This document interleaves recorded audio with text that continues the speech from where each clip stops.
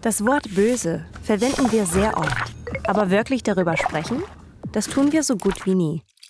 Was ist das eigentlich? Böse. Wenn wir jemanden Betrüger, Mörder oder Psychopath nennen, steht für uns schon fest, bevor wir überhaupt versuchen, die Person zu verstehen, dass sie eigentlich überhaupt keine Person ist, sondern eine Art Monster.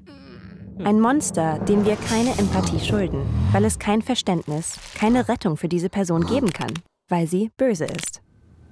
Es wird Zeit, dass wir das Böse genauer analysieren.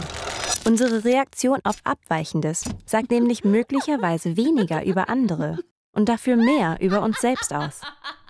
1881 schrieb der Philosoph Friedrich Nietzsche, Böse denken heißt böse machen.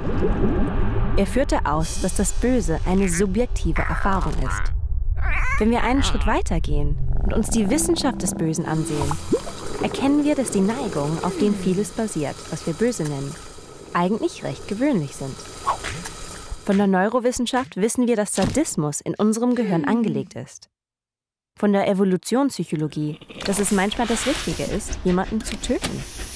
Und von der Verhaltensökonomie, dass Geld unsere Moral verändert.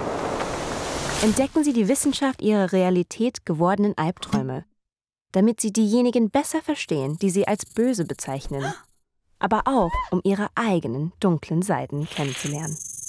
Ich möchte Ihnen dabei helfen, Empathie für das Böse aufzubringen.